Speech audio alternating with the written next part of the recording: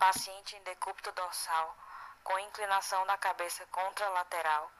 O fisioterapeuta realiza passivamente abdução de ombro e flexão de cotovelo a 90 graus, depressão de ombro caudalmente, rotação externa de ombro, pronação de antebraço e extensão de punho, com o objetivo de tentar encostar a palma da mão do paciente em sua orelha.